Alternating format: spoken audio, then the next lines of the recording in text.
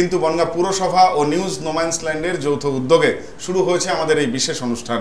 এই মুহূর্তে দশম শ্রেণির ক্লাস চলতরিত। আমাদের মধ্যে উপস্থিত হয়েছেন শিক্ষক দিলীপ ঘোষ ও সুমন ঘোষ। আমরা শিক্ষকদের স্বাগত জানাব নিউজ নোম্যান্সল্যান্ডের স্টুডিওতে। আর ছাত্রছাত্রী যারা টিভি স্ক্রিনের ওপারে আছে, তাদের উদ্দেশ্যে আরও একবার জানিয়ে রাখব, আমাদের যে টিভিতে যেমনি তোমরা সরাসরি এই ক্লাসরুমের বা ক্লাসের সম্প্রচার দেখতে পাচ্ছ, পাশাপাশি আমাদের ফেসবুক পেজেও কিন্তু প্রতিটি ক্লাস আমরা আলাদা আলাদা করে আপলোড দিয়ে দিচ্ছি। সুতরাং তোমরা পরবর্তী ক্লাসগুলির আপলোড পেতে বা নোটিফিকেশন পাওয়ার জন্য আমরা তোমাদের কাছে অনুরোধ করব, আমাদের পেজে গিয়ে লাইক করে রাখো, তাহলে পরবর্তী নোটিফিকেশনগুলি তোমরা পেতে থাকবে। আমি স্যারদেরকে অনুরোধ করব ক্লাস শুরু করবার জন্য।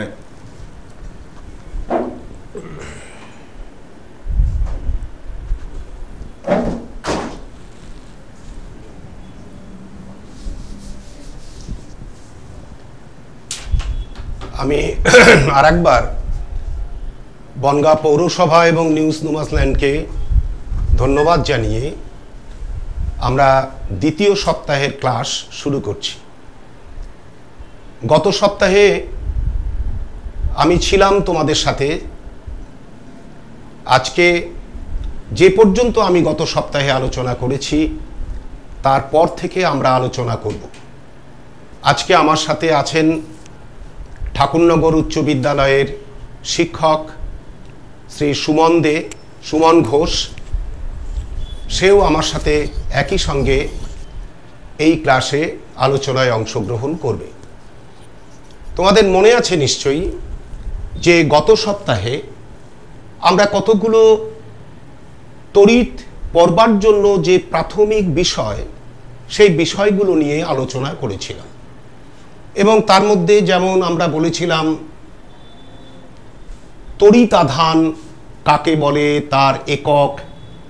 আমরা বলেছিলাম তড়িৎ বিভব, তড়িৎ প্রবাহ মাত্রা কাকে বলে এবং তার এককগুলো কি সেই সম্পর্কে আলোচনা করেছি এবং তাদের পারস্পরিক সম্পর্কগুলো আমরা আলোচনা করেছি।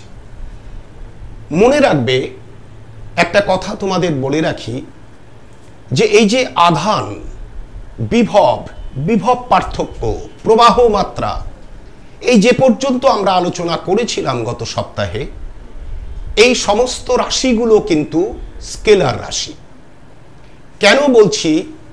মনে রাখবার জন্য একটা রাশি এই সম্পর্কে মানে ভেক্টর কি স্কেলার, এই নিয়ে তোমাদের মধ্যে একটা কনফিউশন হয়।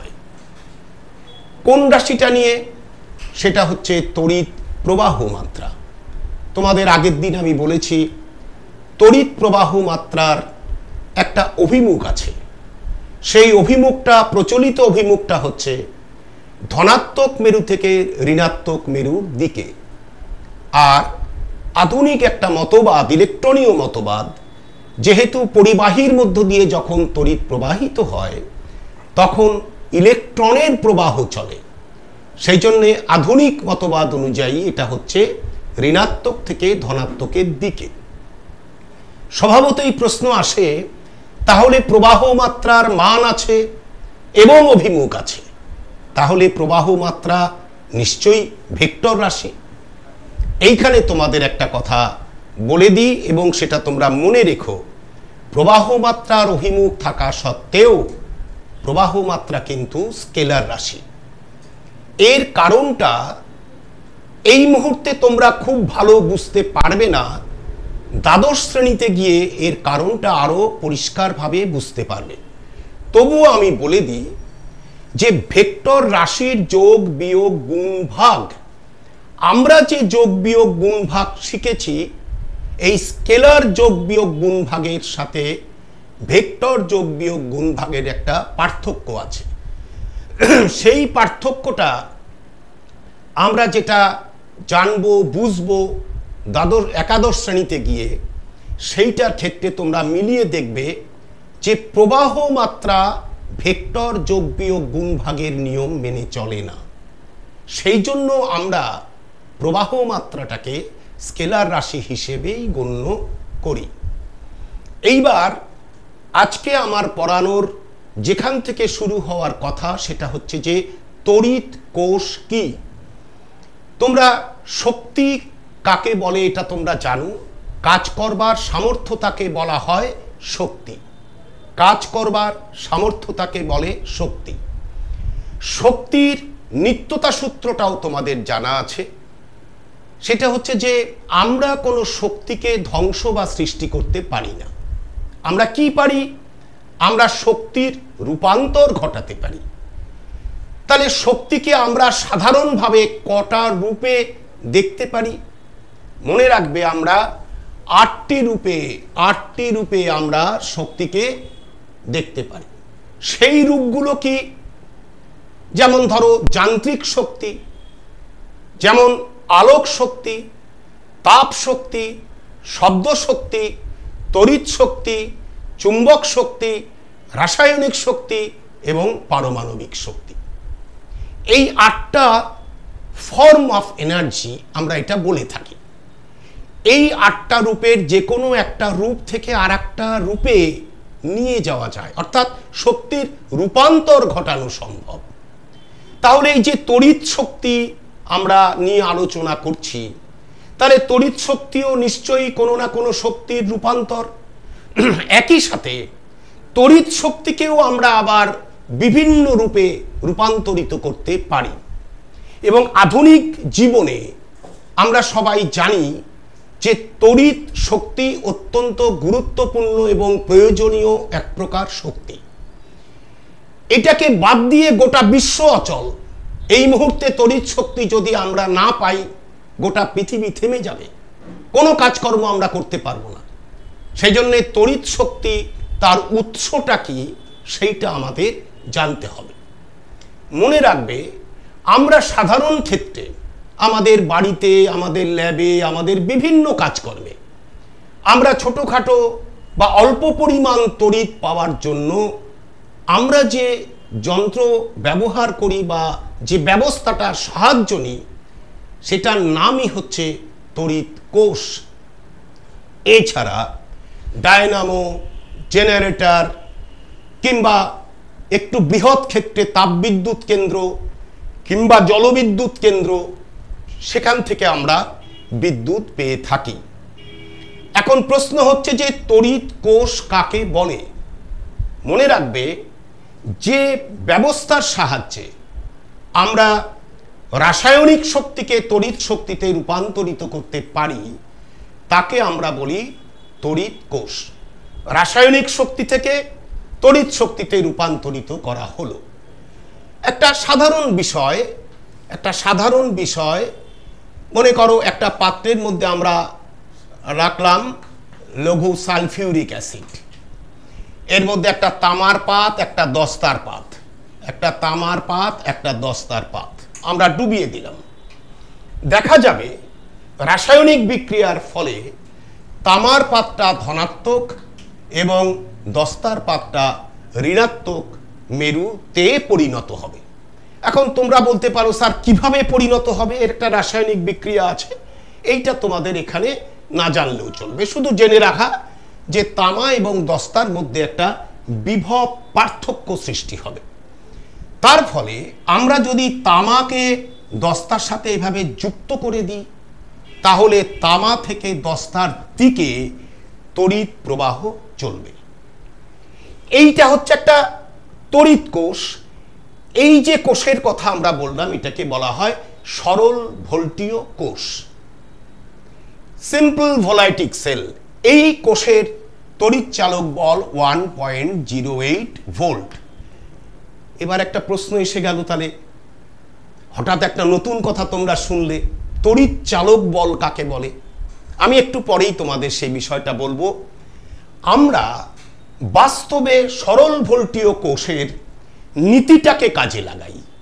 কিন্তু সরল ভোল্টীয় কোষটা আমাদের দৈনন্দিন জীবনে কোনো কাজের ব্যবস্থাপনা নয়।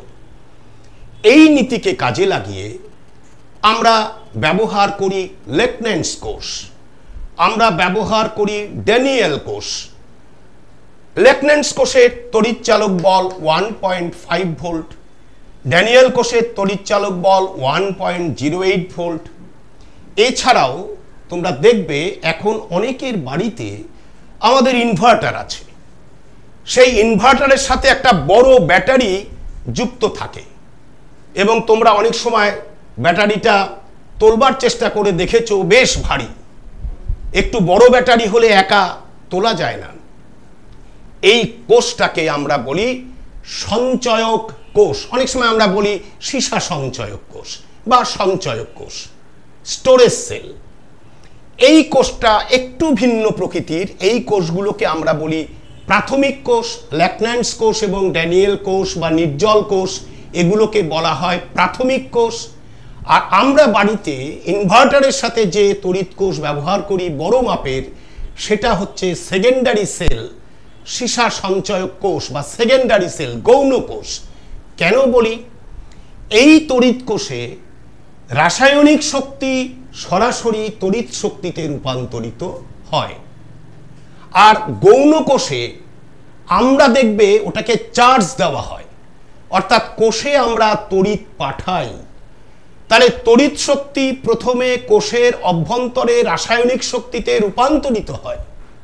সেই রাসায়নিক শক্তি আবার তড়িৎ শক্তি রূপে আমাদের কাছে ফেরত আসে। আমরা আবার তার থেকে তড়িৎ প্রবাহ পাই।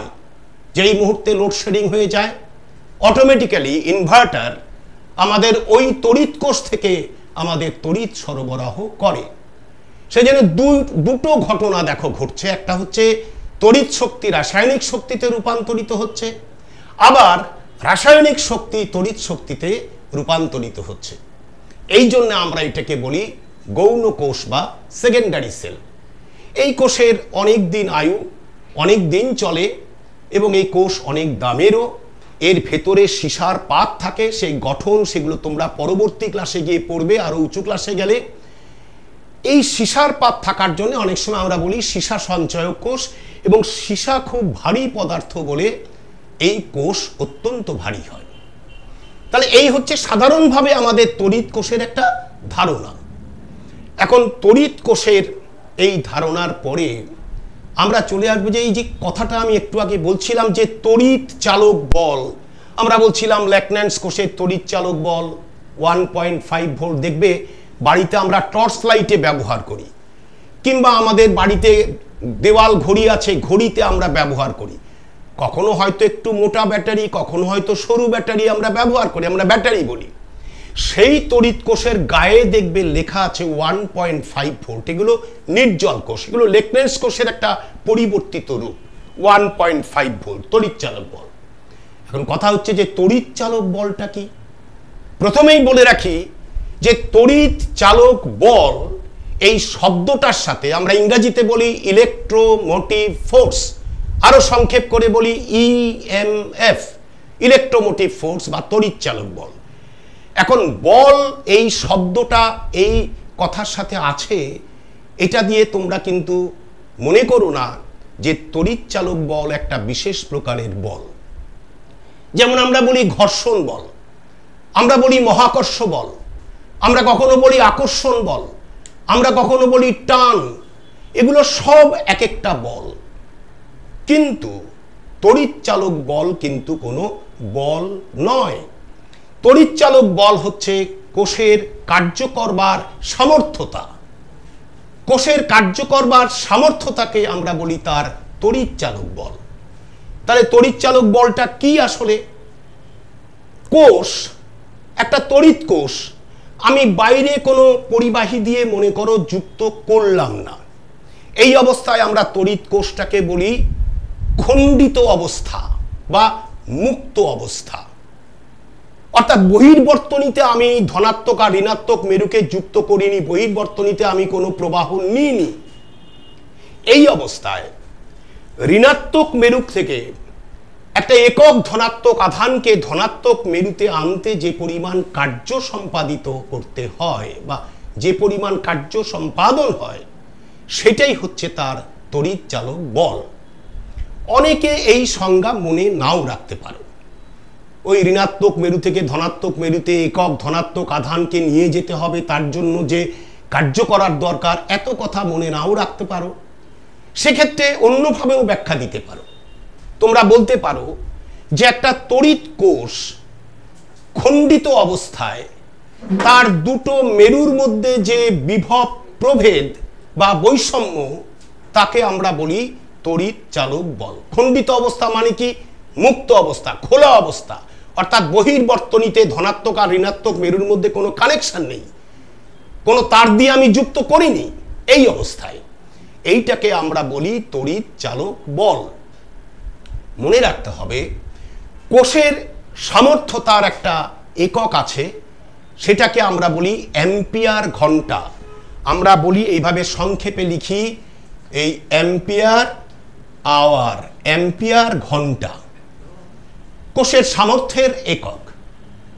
One ampere hour, one ampere hour সমান সমান three six zero zero coulomb তার মানে একটা কোষের এই সামর্থ্যতা যদি ওয়ান অ্যাম্পিয়ার আওয়ার হয়, এক অ্যাম্পিয়ার ঘণ্টা হয়, তাহলে বুঝতে হবে যে এই তড়িৎ কোষ সম্পূর্ণ চার্জড অবস্থাতে একদম ডিসচার্জ হওয়া পর্যন্ত ছত্রিশশো কুলম আধান সরবরাহ করতে সে পারবে।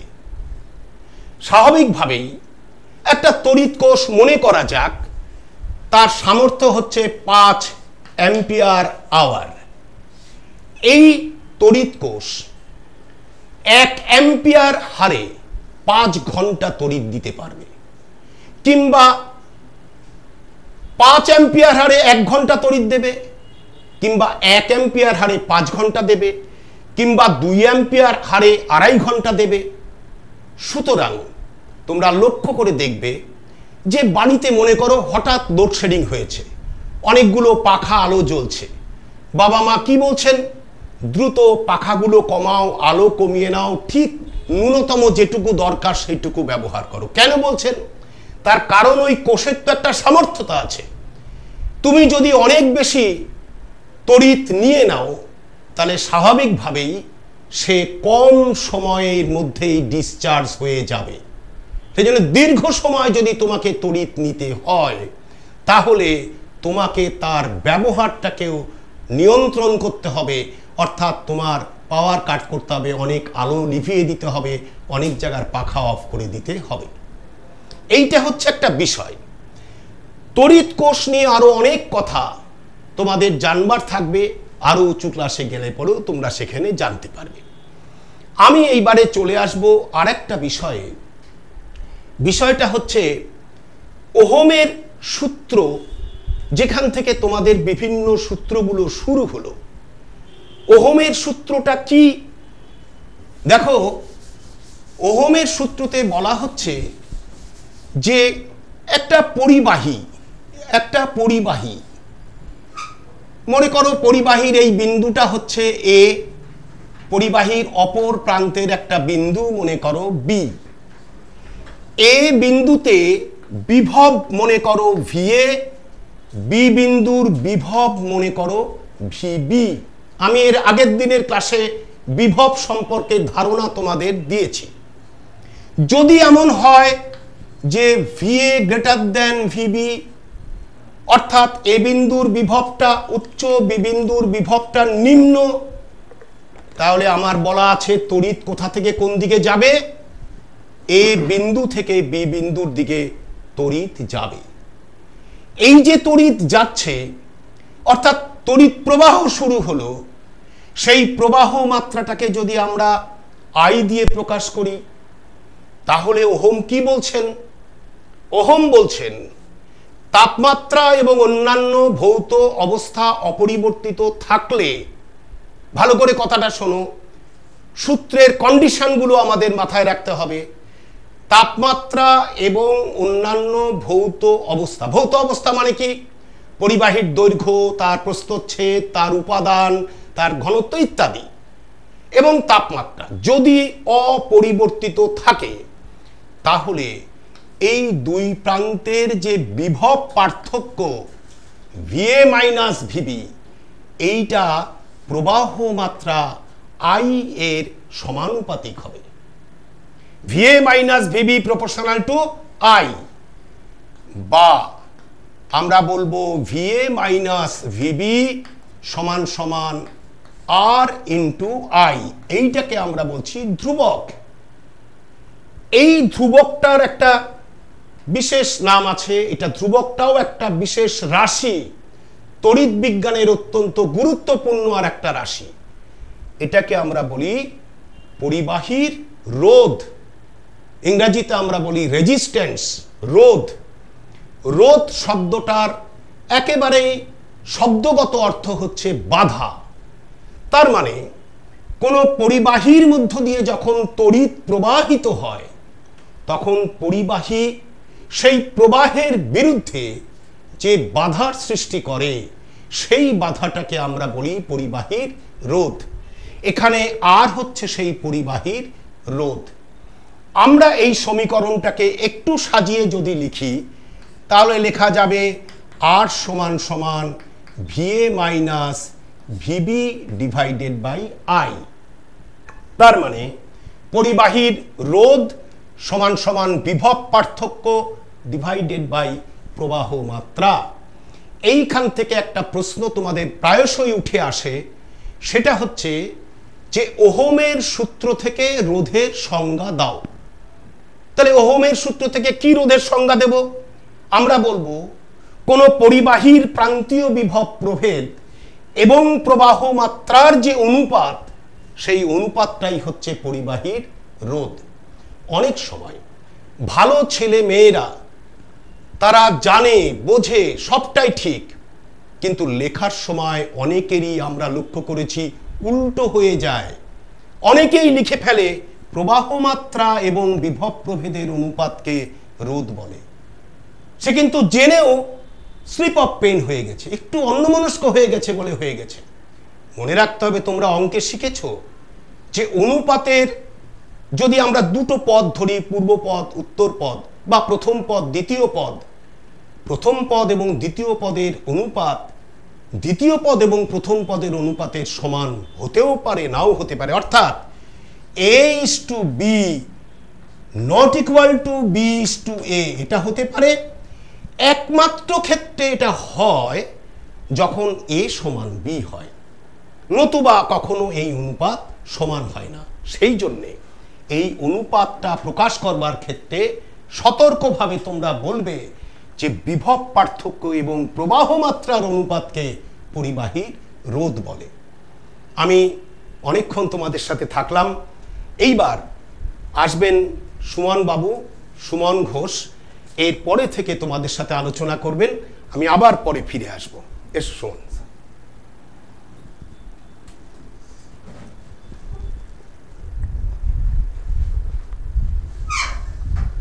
নমস্কার। প্রথমেই বলি, এতক্ষণ যিনি ক্লাস নিচ্ছিলেন, ডিজি স্যার, আমার শিক্ষক এবং আমার এই পেশায় এক অন্যতম অনুপ্রেরণা। এই একই প্ল্যাটফর্ম স্যারের সাথে শেয়ার করার সুযোগ করে দেওয়ার জন্য বনগ্রাম পৌরসভা এবং নিউজ নোম্যান্সল্যান্ডকে জানাই অজস্র ধন্যবাদ। সেই একই সঙ্গে তাদেরকে আরও একবার ধন্যবাদ জানাই এই লকডাউনের মধ্যেও পাঠশালা আয়োজন করায়। এবার আমি চলে আসি আমার বিষয়ে। স্যার যেখানে শেষ করলেন, সেখান থেকে শুধু আর একটা কথাই এই ওহমের সূত্র থেকে আমি একটু বলব। সেটা হচ্ছে ওহমীয় এবং অওহমীয় পরিবাহী বলতে আমরা কি বুঝি? আমরা দেখলাম যে ওহমের ক্ষেত্রে, ওহমের সূত্রে বলা হয়েছে যে V is proportional to I যদি আমরা এখান থেকে একটা লেখচিত্র আঁকি, তাহলে দেখতে পাবো যে বিভব প্রভেদকে এক্স অক্ষ বরাবর এবং ওয়াই অক্ষ বরাবর যদি আই নিই, তাহলে এটা একটা লিনিয়ার রিলেশন মেনটেন করে। তো যে সকল পরিবাহীর ক্ষেত্রে এই সরলরৈখিক সম্পর্ক পরিলক্ষিত হয়, তাদেরকেই বলা হয় অহমীয় পরিবাহী এবং যে সকল পরিবাহীর ক্ষেত্রে এই লিনিয়ার রিলেশন মেনটেন্ড হয় না, তাদেরকে বলা হয় অওহমীয় পরিবাহী। আচ্ছা এবার আমরা আসব অভ্যন্তরীণ রোধ। আচ্ছা তাহলে দেখলাম যে পরিবাহীর মধ্য দিয়ে তড়িৎ প্রবাহের ক্ষেত্রে কি ঘটে? আমরা এখন দেখব যে একটি তড়িৎ কোষযুক্ত পূর্ণ বর্তনীতে তড়িৎ প্রবাহ হলে কি ঘটে? স্যার, তোমাদের তড়িৎ কোষ সম্পর্কে বলেছেন। সেই তড়িৎ কোষের একটা ছবি আঁকছি। দেখো, তড়িৎ কোষে দুটো ইলেকট্রোড থাকে, আমরা জানি। একটা পজিটিভ এবং একটা নেগেটিভ। এবং এর ভেতরে থাকে কি? সক্রিয় তরল। এই সক্রিয় তরল জিনিসটা কি? এটা অবশ্যই কোনো তড়িৎ বিশ্লেষ্য। তড়িৎ বিশ্লেষ্য কি? কোনো অ্যাসিড, ক্ষার বা জলের, জলে দ্রবীভূত হয় এমন কোনো লবণের দ্রবণ। তো এইরকম একটা তড়িৎ কোষ নিলাম এবং তার বহির্বর্তনীতে আমরা একটা রোধ যুক্ত করলাম। তো আমরা দেখেছি, একটু আগেই স্যার বলেছেন যে পরিবাহীর মধ্য দিয়ে তড়িৎ প্রবাহিত হয় প্রচলিত নিয়ম অনুসারে ধনাত্মক দিক থেকে ঋণাত্মক দিকে। কিন্তু আমরা তড়িৎ কোষের মধ্যে দেখব ঠিক এর বিপরীতটা হয়। অর্থাৎ ঋণাত্মক মেরু থেকে ধনাত্মক মেরুর দিকে।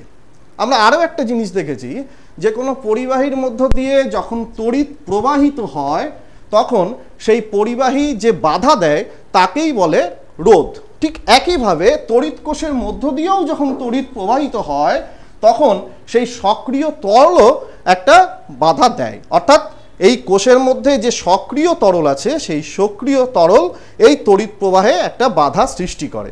এই বাধাকেই আমরা বলি অভ্যন্তরীণ রোধ, তড়িৎ কোষের অভ্যন্তরীণ রোধ।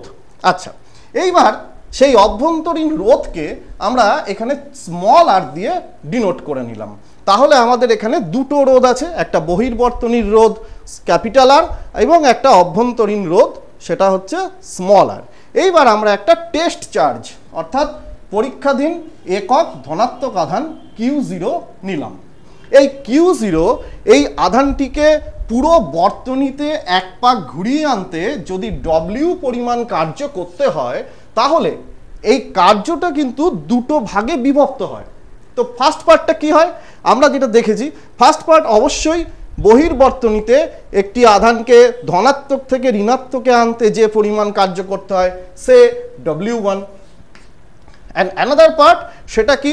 সেটা হচ্ছে একটি ওই আধানকেই ঋণাত্মক তড়িৎ কোষের অভ্যন্তরে ঋণাত্মক মেরু থেকে ধনাত্মক মেরুর দিকে আনতে যে পরিমাণ কার্য করতে হয়, সে ডব্লিউ টু তাহলে আমরা লিখতে পারি W equals to W one plus W two এবার যদি এই কিউ জিরো দিয়ে উভয় দিকে আমরা এটাকে ভাগ করি, তাহলে বিষয়টা কেমন দাঁড়ায়? W by Q zero equals to by Q0 equals to W1 by Q0 plus W2 by Q0 sir, একটু আগে তোমাদের তড়িৎচালক বলের সংজ্ঞা বলেছেন। সেই তড়িৎচালক বলের সংজ্ঞা এবং বিভব প্রভেদের সংজ্ঞা অনুযায়ী আমরা লিখতে পারি, এটাই এই সমীকরণটাকে সাজিয়ে এইভাবে লেখা যায় E equals to capital V যোগ স্মল ভি এখানে ক্যাপিটাল ই হচ্ছে তড়িৎ কোষটির তড়িৎচালক বল, ক্যাপিটাল ভি হচ্ছে তড়িৎ কোষের বিভব প্রভেদ এবং স্মল ভি হচ্ছে এই তড়িৎ কোষের অভ্যন্তরে বিভব পতন। আচ্ছা একটু আগেই আমরা ওহমের সূত্র শিখেছি। ওহমের সূত্র থেকে আমরা দেখেওছি যে V equal to I R হয়। তাহলে আমি প্রথমেই বলেছিলাম যে এখানে বহির্বর্তনীর একটা রোধ হচ্ছে ক্যাপিটাল আর এবং অন্ত অভ্যন্তরীণ রোধের জন্য সেটা হচ্ছে স্মল আর তাহলে এই সমীকরণটাকে আমরা আবার এইভাবে লিখতে পারি E equals to I R যোগ আই আর এখানে একটা আমরা ইকুয়েশন নাম্বার দিলাম। এইবার এই ইকুয়েশন থেকে আমরা দুটো জিনিস শিখব। কি কি? দেখো ফার্স্ট অফ অল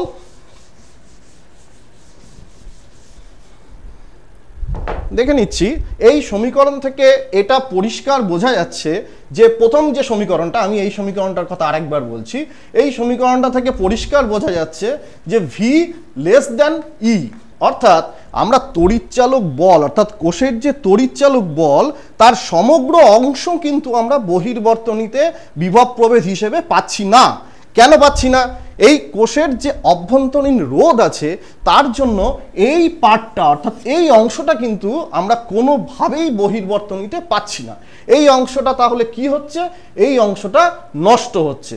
তাই এই অংশটাকেই আমরা বলছি নষ্ট ভোল্ট। তাহলে নষ্ট ভোল্ট ইকুয়াল টু কি? আই আর আচ্ছা এখান থেকে আরেকটা বিষয় আমরা আসব। সেটা হচ্ছে, দেখো, এই এক নম্বর সমীকরণে যদি আর ইকুয়াল টু জিরো হয়। আর ইকুয়াল টু জিরো এর অর্থ কি? এর অর্থ হচ্ছে এটি একটি মুক্ত বর্তনী। তাহলে মুক্ত বর্তনীর ক্ষেত্রে আমরা তাহলে এক্ষেত্রে কি লিখতে পারি? E equal to small V equal to I R তাহলে এখান থেকে দেখতে পাচ্ছ ভি ইকুয়াল টু আইআর দেখো, এই মুক্ত বর্তনীতে দুই মেরুর মধ্যে যে বিভবের পার্থক্য, তাকেই কিন্তু বলে তড়িৎচালক বল। স্যার কিন্তু এটা বলেছেন তোমাদের। তাহলে আমরা তড়িৎ কোষের তড়িৎচালক বল বলতে কি বুঝি? কিছুই না ভেরি সিম্পল সেটা হচ্ছে মুক্ত বর্তনীতে দুটো তড়িৎদ্বারের মধ্যে যে বিভবের পার্থক্য, তাকেই বলে তড়িৎচালক বল। আর এটাকেই আমরা অন্যভাবে যদি বলি, তাহলে কি? যে ঋণাত্মক মেরু থেকে একটি পরীক্ষাধীন আধানকে ধনাত্মক মেরুতে তড়িৎ সংস্থা ছাড়া অন্য কোনো সংস্থা দ্বারা নিয়ে আসতে। যে পরিমাণ কার্য করতে হয়, তাকেই বলে তাকেই বলে ওই তড়িৎ কোষের তড়িৎচালক বল। আচ্ছা তার মানে তোমরা এখান থেকে দেখতে পেলে যে এই তড়িৎ কোষের তড়িৎচালক বল আর এই নষ্ট ভোল্ট দুটো একই জিনিস। এইবার আমরা চলে আসি যে কোনো তড়িৎ কোষের অভ্যন্তরীণ রোধ কি কি বিষয়ের উপর নির্ভরশীল। এক নম্বর তড়িৎ দ্বার দুটির ক্ষেত্রফলের উপর নির্ভরশীল। ক্ষেত্রফল যত বেশি হবে, অভ্যন্তরীণ রোধ তত কম হবে। দু নম্বর, তড়িৎ দ্বার দুটির মধ্যকার দূরত্ব। দূরত্ব যত বেশি হবে, আধানকে তত বেশি ট্রাভেল করতে হবে, তো তত বেশি কার্য করতে হবে, তার মানে সেক্ষেত্রে অভ্যন্তরীণ রোধ তত বেশি হবে। তিন নম্বর, চলে আসছি পরিবাহিতা। এই সক্রিয় তরলের পরিবাহিতা যত বেশি হবে, অভ্যন্তরীণ রোধ তত কম হবে এবং চার নম্বর এই সক্রিয় তরলের উষ্ণতা। সক্রিয় তরলের উষ্ণতা যত বেশি হবে, অভ্যন্তরীণ রোধ তত কম হবে। তাহলে আমরা দেখলাম একটি তড়িৎ কোষের অভ্যন্তরীণ রোধ কি কি বিষয়ের উপর নির্ভর করে। এবার আমরা এখান থেকেই দেখব যে পরিবাহীর রোধ কি কি বিষয়ের উপর নির্ভর করে।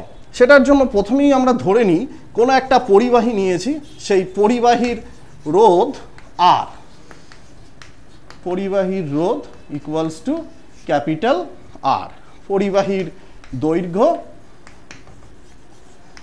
ইকুয়ালস টু স্মল এল এবং পরিবাহীর প্রস্থচ্ছেদের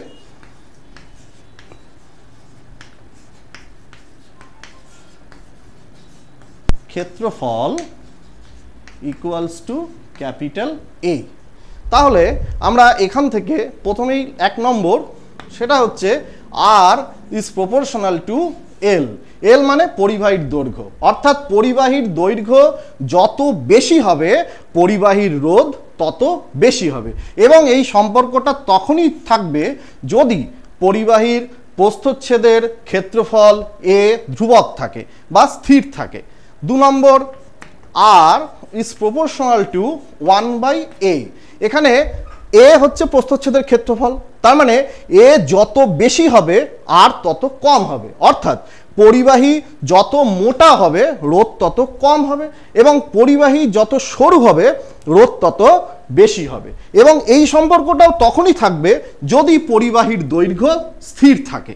তাহলে এই দুটো সম্পর্কের ওপরে আমরা যৌগিক ভেদের উপপাদ্য প্রয়োগ করে কি পাই?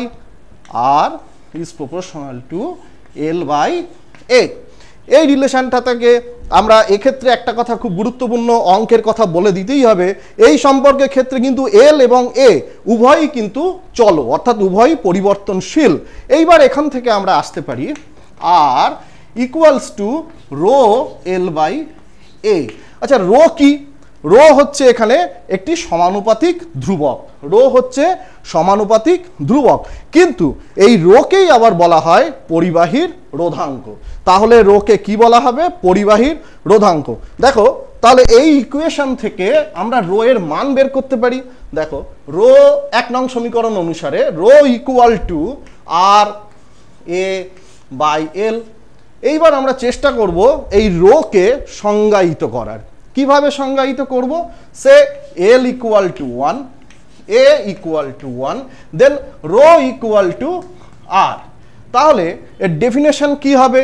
একক দৈর্ঘ্য এবং একক প্রস্থচ্ছেদের ক্ষেত্রফল সম্পন্ন কোনো পরিবাহীর রোধকেই ওই পরিবাহীর রোধাঙ্ক বলে। তাহলে দেখো, এই সংজ্ঞার পর যে জিনিসটা চলে আসে অবশ্যম্ভাবী হিসেবে, সেটা হচ্ছে রোয়ের একক কি হবে? রোয়ের একক বের করতে গেলে আমরা এই সমীকরণে যে রাশিগুলো আছে, সেই রাশিগুলির এককগুলি পরপর লিখব। আমরা এসআই একক বের করছি। তাহলে এসআই এককের ক্ষেত্রে কি হবে? তোমরা জানো, রোধের একক হচ্ছে ওহম। প্রস্থচ্ছেদের ক্ষেত্রফল, ক্ষেত্রফলের একক বর্গ মিটার বা মিটার স্কোয়ার এবং রোধের একক, এই সরি, দৈর্ঘ্যের একক, মিটার। তাহলে এখান থেকে আমরা কি পাই? রোধাঙ্কের একক, ওহম, মিটার। আচ্ছা তাহলে আমরা রোধাঙ্কের একক শিখলাম, রোধাঙ্কের রাশিমালা শিখলাম। তাহলে এখান থেকে একটা যদি এক্সাম্পল দিই তোমাদের, ধরো তামার রোধাঙ্ক তামার রোধাঙ্ক seven one point seven eight into ten to the power minus eight ohm metre. বলতে কি বোঝো? যদি এই প্রশ্নটা তোমাদের সামনে রাখি, তাহলে এর উত্তর কি হবে? দেখো, এক, এখানে এই উত্তরটা দেওয়ার আগে একটা জিনিস কিন্তু খুব পরিষ্কার করে খেয়াল রাখতে হবে। সেটা হচ্ছে, আমরা উল্লেখ করেছি ওহম মিটার, তার মানে এটা এসআই একক। তার মানে এখানে যা যা বলব, সব কিন্তু এসআই এককে বলতে হবে। তাহলে, কি বলব? এক মিটার দৈর্ঘ্য এবং এক মিটার স্কোয়ার ক্ষেত্রফল বিশিষ্ট তামার পরিবাহীর রোধ হবে one point seven eight into ten to the per eight ohm. এই জিনিসটা কিন্তু খুবই গুরুত্বপূর্ণ। তাহলে আমরা রোধাঙ্ক সম্পর্কে জানলাম, আমরা রোধ সম্পর্কে জানলাম, আমরা বুঝলাম যে রোধ এই এই বিষয়ের উপর নির্ভর করে। আচ্ছা রোধ কি শুধু এই বিষয়ের উপরেই নির্ভর করে? আর কিছুর উপর নির্ভর করে না। দেখো, এই রাশিমালা থেকেই তোমরা বুঝতে পারছ যে এখানে রো একটা ফ্যাক্টর অবশ্যই। তাহলে পরিবাহীর রোধ, পরিবাহীর উপাদানের উপরেও কিন্তু নির্ভরশীল। এবং আরও দুটো গুরুত্বপূর্ণ বিষয় আছে, যেমন পরিবাহীর রোধ, আলো উষ্ণতা, চাপ ইত্যাদির ওপর নির্ভর করে। কিন্তু সেগুলো আমাদের পাঠ্যসূচির অন্তর্ভুক্ত নয়। তাহলে রোধ এবং রোধাঙ্ক শিখলাম। দেখা যাক, এবার পরিবাহিতা জিনিসটা কি? পরিবাহিতা কি? দেখো, পরিবাহিতা মানে কি? পরিবাহিতা হচ্ছে যে ধর্মের জন্য কোনো পরিবাহীর মধ্য দিয়ে তড়িৎ পরিবাহিত হতে পারে। তাকেই বলে পরিবাহিতা।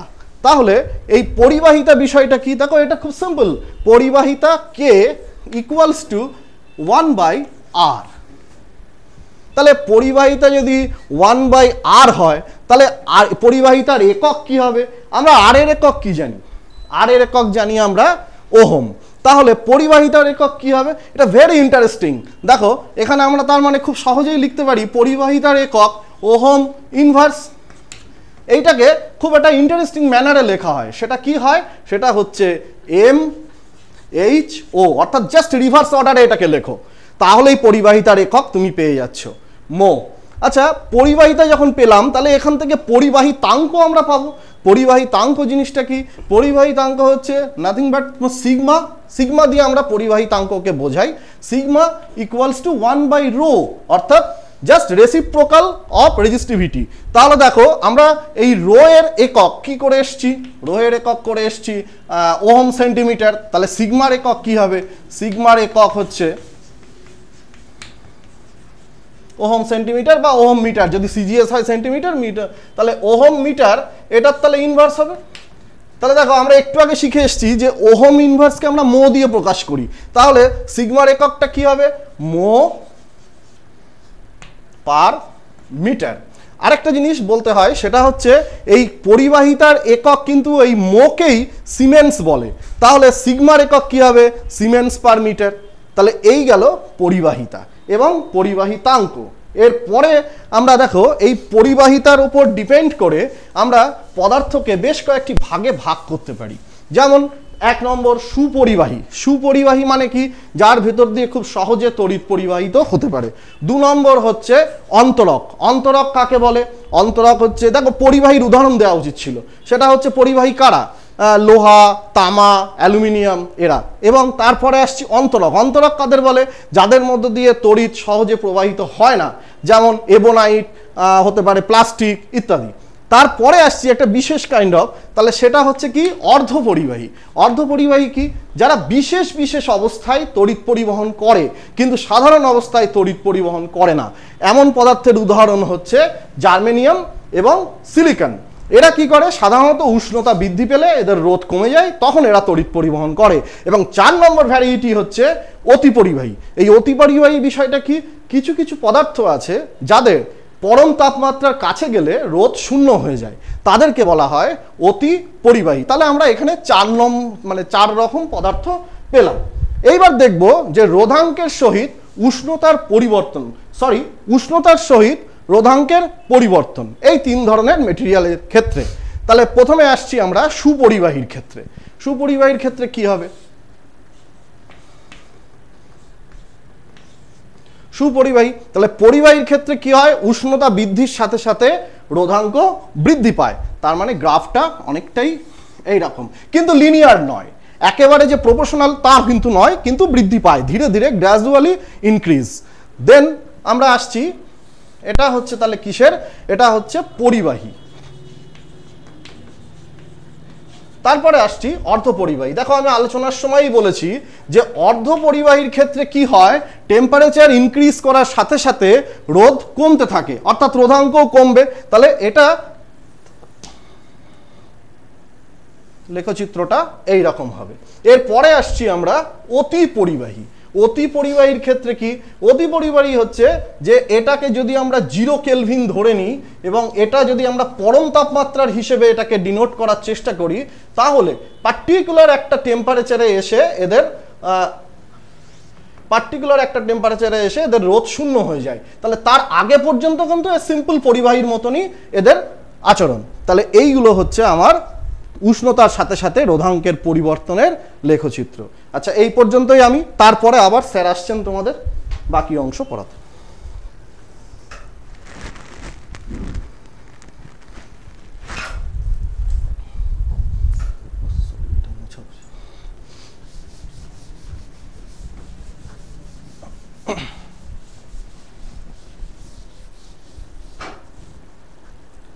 এতক্ষণ তোমরা সুমনবাবুর কাছ থেকে শুনছিলে যে রোধ কোন কোন বিষয়ের উপর নির্ভর করে। প্রধানত উনি বলেই গেছেন, দৈর্ঘ্য প্রস্তচ্ছেদের ক্ষেত্রফল, উপাদান এবং তাপমাত্রা। এই চারটে বিষয়ের উপর প্রধানত নির্ভরশীল। এছাড়াও চাপ, আলো এবং চুম্বক ক্ষেত্রের উপরও রোধ নির্ভর করে কিন্তু এই নির্ভরতাটা খুব কম। সেই জন্য তোমাদের এই স্তরে এই অংশটা আমরা আলোচনার মধ্যে আনছি না। এখন কথা হচ্ছে যে রোদ এই যে আমাদের বলা হলো যে সুপরিবাহী, সাধারণত ধাতব পদার্থগুলো সুপরিবাহী।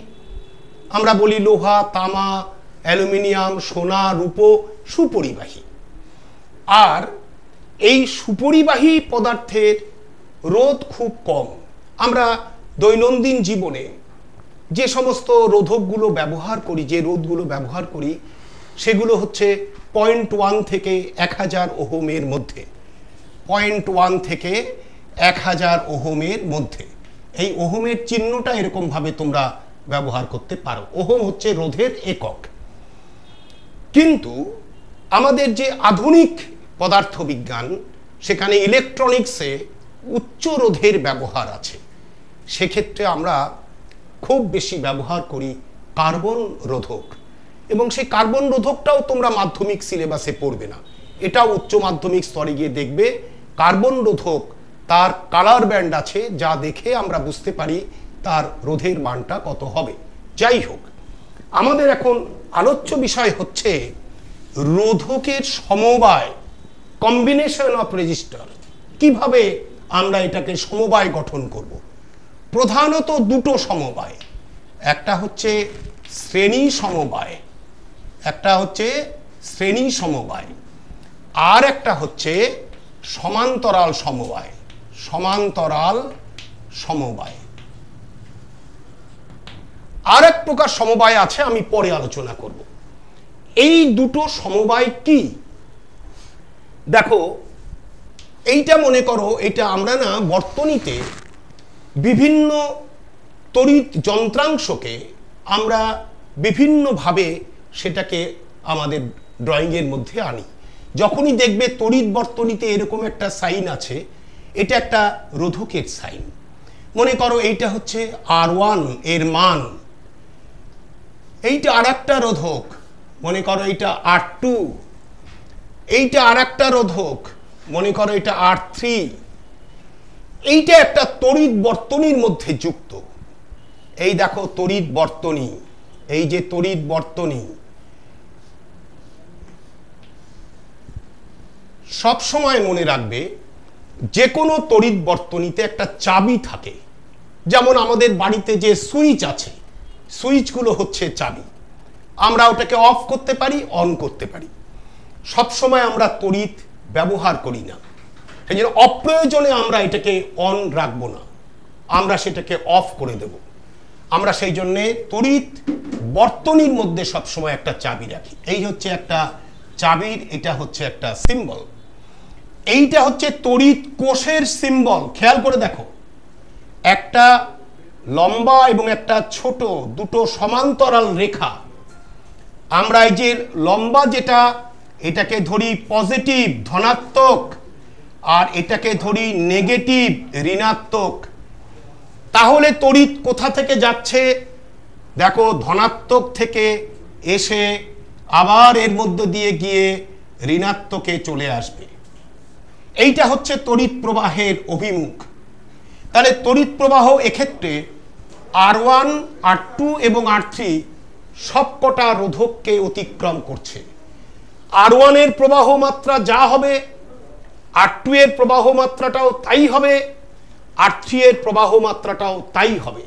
তার মানে কতকগুলো রোধক যদি কোনো বর্তনীতে এমনভাবে যুক্ত থাকে যে মূল প্রবাহ সবকটি রোধকের মধ্যে দিয়ে অভিন্নভাবে অতিক্রম করছে, তার মানে কোনো রোধকের মধ্য দিয়ে প্রবাহ মাত্রা কম বেশি হচ্ছে না সবার মধ্য দিয়ে ওই একই প্রবাহ, মূল প্রবাহ চলে আসছে।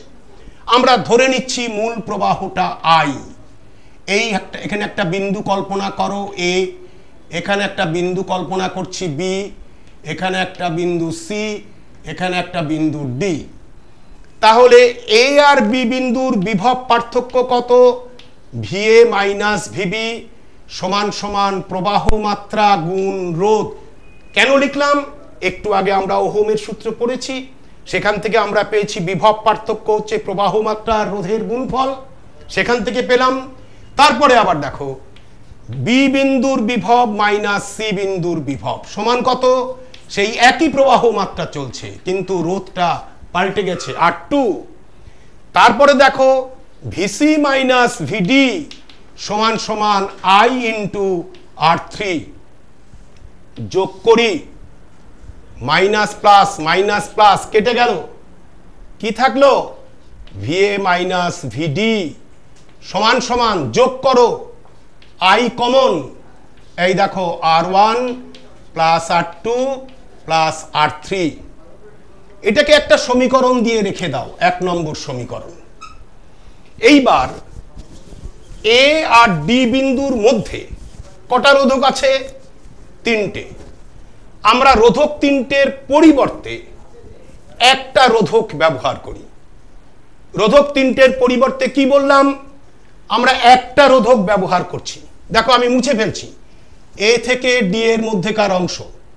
সমস্ত রোধকগুলোকে খুলে ফেলেছি। ফেলে একটা রোধক ব্যবহার করেছি। করে আমরা দেখলাম যে একই কোষ ওই বর্তনীতে একই প্রবাহ মাত্রা পাঠাচ্ছে। যদি তা হয়, তাহলে এই রোধকের মান, এই রোধকের মানটা হচ্ছে এই রোধকগুলোর তুল্যাঙ্ক রোধ বা তুল্য রোধ ইকুইভ্যালেন্ট রেজিস্ট্যান্স ইকুইভ্যালেন্ট রেজিস্ট্যান্স তার মানে দেখো, তিনটে রোধকের পরিবর্তে বর্তনীতে আমরা একটা রোধ ব্যবহার করেছি। সেই রোধক ব্যবহারের ফলে একই কোষ আছে, একই প্রবাহ মাত্রা দিচ্ছে। তাহলে এই রোধকটার মানটাই হচ্ছে আলোচ্য যে রোধকগুলি, তার তুল্য রোধ। তাহলে আমরা এক্ষেত্রে বলতে পারব যে এ আর বি বিন্দুর বিভব পার্থক্য ভিএ মাইনাস ভিবি সমান সমান হচ্ছে আই ইন্টু আর এটাকে দু নম্বর সমীকরণ দিলাম। তাহলে এক এবং দু নম্বর সমীকরণ তুলনা করি। করলে আমরা লিখতে পারব, অতএব আই ইন্টু আর সমান I into R one plus R two plus R three দেখো দুপাশ থেকে আই কেটে গেল। অতএব আর সমান সমান R one plus R two plus R three এখানে আমি তিনটে রোধক নিয়ে আলোচনা করলাম। তার মানে এই না যে সবসময় তিনটে রোধকই থাকতে হবে। দুটো রোধক থাকতে পারে, দশটা রোধকও থাকতে পারে, পনেরোটা রোধকও থাকতে পারে। তোমাদের মনে রাখতে হবে, যখনই বর্তনীতে কতকগুলো রোধকের মধ্য দিয়ে প্রবাহ মাত্রা অপরিবর্তিতভাবে মূল প্রবাহ সেই সবকটা রোধকের মধ্য দিয়ে অতিক্রম করছে, তখন রোধকগুলোর সমবায়কে বলা হয় শ্রেণি সমবায়, সিরিজ কম্বিনেশন, শ্রেণি সমবায়। এবং তার তুল্য রোধের এই হচ্ছে আমাদের মান। আর সমান সমান R one plus R two plus R three. তাহলে শ্রেণি সমবায়ের ক্ষেত্রে রোধকগুলোর যোগফলই হচ্ছে তুল্য রোধের মান। এবং মনে রাখতে হবে সব সময় তুল্য রোধ রোধকগুলির যে কোনোটা অপেক্ষাই বড় হবে। অর্থাৎ আর এর মান আর ওয়ানের থেকে বড়, আর টু এর থেকে বড়, আর থ্রি এর থেকেও বড়। এইটা হচ্ছে মূল বিষয়। এবং কতগুলো রোধক শ্রেণি সমবায়ে কোনো বর্তনীতে থাকলে স্বাভাবিক কারণেই প্রবাহ মাত্রার মানটা কমবে, রোধ বেড়ে গেলে পরে প্রবাহ মাত্রার মান কমবে। এইটা একটা সমবায়। আর একটা সমবায়ের কথা আমরা লিখেছি, সেটা হচ্ছে সেটা হচ্ছে সমান্তরাল সমবায়। সমান্তরাল সমবায়টা কি? সমান্তরাল সমবায় হচ্ছে, এইটা দেখো একটা রোধক, এইটা দেখো একটা রোধক, এইটা দেখো একটা রোধক। রোধকগুলো দেখো বর্তনীতে কীভাবে যুক্ত করা হলো। বর্তনীতে রোধকগুলোর কানেকশনটা লক্ষ্য করো। এই তড়িৎ কোষ, এই চাবি, এই তড়িৎ প্রবাহ এলো, এইটা মনে করো এ বিন্দু, এইটা মনে করো বি বিন্দু। এই তড়িৎ প্রবাহ এসে এই বিন্দুতে যখন পৌঁছালো, তখন তিনটে রাস্তা পেয়ে গেল। স্বাভাবিকভাবেই মূল প্রবাহ যদি আই হয় তাহলে সব কটা রোধের মধ্যে দিয়ে তো একই প্রবাহ নাও যেতে পারে। এখানে মনে করো প্রবাহ গেল আই ওয়ান এখানে প্রবাহ আই টু এখানে প্রবাহ আই থ্রি মনে করো এর রোধ আর ওয়ান এটা আর টু এটা আর থ্রি কিন্তু লক্ষ্য করো, প্রত্যেকটা রোধকের প্রান্ত বিন্দু দুটো কিন্তু একই, অর্থাৎ এ এবং বি সেই জন্যে এই যে সমবায় এই সমবায়ের প্রান্তিক বিভব পার্থক্য সমান, যেটা শ্রেণি সমবায় ছিল না। শ্রেণি সমবায়ে প্রবাহ মাত্রাটা সমান ছিল, কিন্তু বিভব পার্থক্য সমান ছিল না। সমান্তরাল সমবায়ে বিভব পার্থক্য সমান, কিন্তু প্রবাহ মাত্রা সমান না। তাহলে আমরা এখানে বলতে পারি কি, দেখো আই ওয়ান সমান, প্রবাহ মাত্রা মানে বিভব প্রভেদ বাই রোধ, তার মানে VA minus VB by R one I two মানে হচ্ছে VA minus VB by R two I three সমান সমান VA minus VB by R three এই তিনটেকে যোগ করে দাও। যোগ করলে হবে I one plus I two plus I three সমান সমান ভিএ মাইনাস ভিবি কমন নিয়ে নাও। কমন নিলে হবে one by R one plus one by R two plus one by R three এটাকে এক নম্বর সমীকরণ দাও। এইবার আগের মতনই ভাবো এ আর বি বিন্দুর মধ্যে এই তিনটে রোধের পরিবর্তে আমরা একটা রোধ ব্যবহার করছি। একটা রোধক দেখো এ আর বি বিন্দুর মাঝখানে যুক্ত করেছি যুক্ত করেছি যাতে একই তড়িৎ কোষ একই প্রবাহ মাত্রা পাঠাচ্ছে। তাহলে এটার রোধ যদি হয় আর তাহলে এই রোধটাই হচ্ছে এই রোধকগুলোর তুল্য রোধ। তাহলে এখানে আমরা কি বলব? এখানে এটা সমান সমান যেমন আমরা বলতে পারি আই এখানে আমরা বলব আই সমান সমান VA minus VB divided by R এটা দু নম্বর দাও। এখানে দেখো I one plus I two plus I three এই তিনটের যোগফল হচ্ছে আই কারণ আই ভেঙেই এটা হয়েছে। আবার এখানে আই সমান এটা। তাহলে এক দুই যদি কম্পেয়ার করো, তাহলে তুমি পাবে VA minus VV divided by R সমান সমান VA minus VB into one upon R one plus one upon আর টু প্লাস ওয়ান আপন আর থ্রি এখানে এই অংশটা কেটে দাও। সমান সমান অংশ। অতএব ওয়ান আপন আর সমান one upon R one plus one upon আর টু প্লাস ওয়ান আপন আর থ্রি এইটা হচ্ছে আমাদের সমান্তরাল সমবায়ের তুল্যরোধ পরিমাপের রাশিমালা। এখানে লক্ষ্য করো, এইটা হচ্ছে তুল্যরোধ বা তুল্যাঙ্ক রোধ। তাহলে কতকগুলো রোধক বর্তনীতে সমান্তরাল সমবায়ে থাকলে তাদের অনন্যকের সমষ্টি, তুল্যরোধের অনন্যকের সমান। রোধকগুলির অনন্যকের সমষ্টি, তুল্যরোধের অনন্যকের সমান। মনে রাখতে হবে, সেই জন্যে আমরা গাণিতিকভাবে এটা প্রমাণ করে দেখাতে পারি যে তুল্যরোধের এই মান যে কোনো রোধের মান অপেক্ষা ছোট। তাহলে শ্রেণি সমবায়ে যেমন রোধকগুলোর মানের থেকে তুল্যরোধের মান বড়, সমান্তরাল সমবায়ের ক্ষেত্রে রোধকগুলির যে কোনোটার মান তুল্যরোধের থেকে বড়। অর্থাৎ তুল্যরোধের মানটা কম। সেই জন্য এটা হচ্ছে সমান্তরাল সমবায়। আমরা পরের দিন আবার শুরু করব এখান থেকে। কারণ এটা এত বিস্তৃত একটা বিষয়, বলতেও তোমাদের কাছে ভালো লাগে। এবং নিশ্চিতভাবেই তোমরা এগুলো মনে রাখার চেষ্টা করবে যাতে পরবর্তী ক্লাসে আমরা আবার এখান থেকে কন্টিনিউ করতে পারি। তাহলে শ্রেণি সমবায় এবং সমান্তরাল সমবায় শিখলে আমরা পরের দিন শুরু করব যুক্ত বা মিশ্র সমবায় থেকে। আর যদি কোনো প্রশ্ন তোমাদের থাকে, তাহলে তোমরা নিউজ নোম্যান্স দপ্তরে, নিউজ নোম্যান্সল্যান্ডের দপ্তরে পাঠিয়ে দেবে। আমরা দপ্তর থেকে প্রশ্ন সংগ্রহ করে তার উত্তরগুলো তোমাদের কাছে পৌঁছে দেওয়ার ব্যবস্থা করব এই চ্যানেলের মাধ্যমে। ভালো থেকো সবাই, মন দিয়ে পড়াশোনা করো। ধন্যবাদ। স্যার, আমরা শেষ করব। আমাদের সময় একেবারেই শেষ। তবুও শেষ মুহূর্তে যদি এই সাবজেক্টের উপরে যদি কোনো হোম টাস্ক বা কিছু আপনারা দিতে চান ছাত্রদের যদি একটু বলে দেন খুব দ্রুততার সাথে আর কি। আমি একটুখানি একটা জিনিস বলি তারপরে সুমন দুই একটা কথা ওদেরকে প্রশ্নগুলো বলে দেবে খুব। আমরা ইতিমধ্যে না কতগুলো রিলেশন এর উপর গুরুত্ব দিয়েছি। আমি আগের দিন একটা জিনিস শিখিয়েছিলাম যেটা আজকে সুমনের আলোচনার মধ্যেও দেখো এ উঠে এসেছে। ওটা ভীষণভাবে কাজে লাগবে আমি আগের দিনও বলেছিলাম। দেখো, প্রথমেই আমি বলি কিউ সমান সমান আইটি আমরা বলি ডব্লিউ সমান সমান ভিকিউ আমরা বলি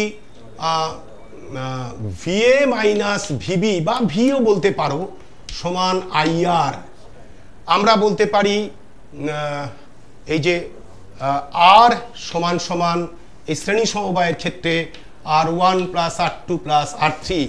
আমরা বলতে পারি ওয়ান বাই আর সমান one upon R one plus one upon আর টু প্লাস ওয়ান আপন আর থ্রি এইগুলো এবং পরিবাহিতার ব্যাপারেও সুমনবাবু তোমাদের বলেছেন যে পরিবাহিতা হচ্ছে রোধ, রোধের অনন্যক। সেই বিষয়টাও তোমরা মাথায় রাখতে পারো। এই বিষয়গুলো নিয়ে সুমনবাবু তোমাদেরকে আরেকটু বিস্তারিত তোমাদের বলে দিচ্ছে যে প্রশ্নগুলো কি কি প্রশ্নগুলো তোমরা বাড়িতে দেখে রাখবে যাতে পরের দিনের ক্লাসে আমাদের সাথে যোগাযোগ করতে সুবিধা হয়। খুব সংক্ষেপে বললে স্যার তোমাদের যে ফর্মুলাগুলো লিখে দিয়েছেন এই ফর্মুলা সংক্রান্ত অঙ্ক তড়িৎ বিজ্ঞানে অঙ্ক ছাড়া কোনো কোশ্চেন আসে না। মানে অঙ্ক থাকেই। আসে না না মানে অঙ্ক আসবেই। এবং এর সাথে আরও একটা রিলেশন যেটা আমি তোমাদের করালাম সেটা হচ্ছে E equal to IR plus IR এখানে আর হচ্ছে অভ্যন্তরীণ রোধ যে কোনো একটা রাশি অজ্ঞাত রাশির মান ওরা জানতে চাইবে এর থেকে। এছাড়া কিছু থিওরিটিক্যাল কোশ্চেন সম্পর্কে তোমাদের বলি, প্রথম দিন থেকে যেগুলো পড়েছি আমরা, সেগুলো হচ্ছে প্রথমেই বলতে হয় কুলম্বের সূত্রটি বিবৃত করো। তারপরে আজকে আমরা যেটা পড়লাম, ওহমের সূত্রটি বিবৃত করো এবং তা থেকে রোধের সংজ্ঞা দাও। এটা কিন্তু ভেরি ভেরি ইম্পর্টেন্ট একটা কোয়েশ্চেন দু হাজার একুশের জন্য। তারপরে আমরা এসছি স্যার দেখিয়েছেন যে সমান্তরাল সমবায়ের ক্ষেত্রে তুল্য রোধ অন্যান্য যে প্রত্যেকটি রোধের থেকেও মানে ক্ষুদ্রতম রোধের থেকেও ক্ষুদ্রতর হবে। এই প্রমাণটাও কিন্তু এইভাবে পরীক্ষায় আসতে পারে। তোমরা এই প্রশ্নগুলোই বাড়িতে ভালো করে অভ্যাস করো। সামনের দিন প্রত্যেকটা রিলেশন কিন্তু সামনের দিনের পড়াশোনাতেও কাজে লাগবে। এখানেই শেষ করছি আজকে আমরা। আমরা অসংখ্য ধন্যবাদ জানাব। আমাদের মধ্যে উপস্থিত হয়েছিলেন আমাদের শিক্ষক দিলীপ ঘোষ ও সুমন ঘোষ। আমরা স্যারদেরকে ধন্যবাদ জানাই। আমরা শেষ করব আমাদের পাঠশালার অনুষ্ঠান। এরপর আমরা শীঘ্রই ফিরে আসব আজকের দ্বিতীয় ক্লাস পাঠশালার দ্বাদশ শ্রেণির জীববিদ্যা, সপুষ্পক উদ্ভিদের যৌন জনন। শিক্ষক উপস্থিত থাকবেন হরিগোপাল সরকার ও সুমন কুমার দেকে নিয়ে।